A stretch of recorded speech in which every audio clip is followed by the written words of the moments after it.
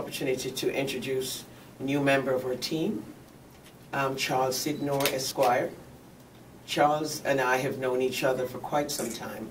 Uh, we've served together on the 10th District Democratic Club, and he has been a devoted husband and father of three beautiful girls, and lives here in the Catonsville community.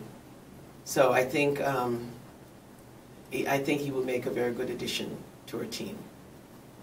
And um, so we intend to work hard. We'll join, of course, Rainier Harvey and myself, who started this way back from last year. We've been working together.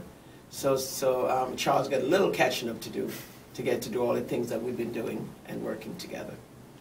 And um, I think we will make a very successful team for the upcoming election.